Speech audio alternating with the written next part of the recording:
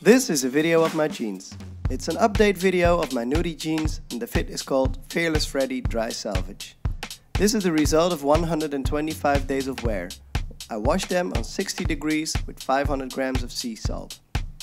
I wanted to wear these jeans for 6 months before the first wash, but they were too dirty.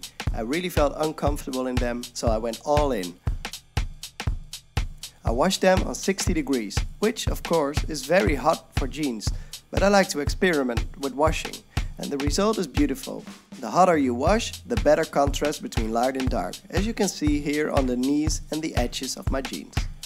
I also added 500 grams of salt in the washing machine, which gives them a deeper tone of blue. I love how bright blue they are now. On the back, the pockets turned out amazing.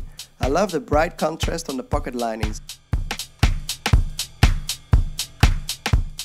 As you can see, I don't have that much honeycombs, but that is because this is a loose fit.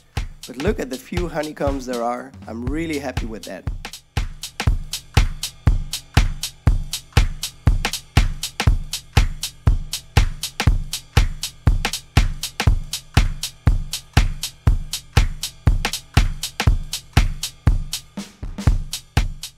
I can wear them again, feel fresh and proud, thinking by myself, damn denim,